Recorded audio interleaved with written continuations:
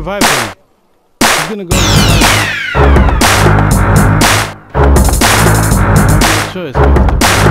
Get these guys out of the way.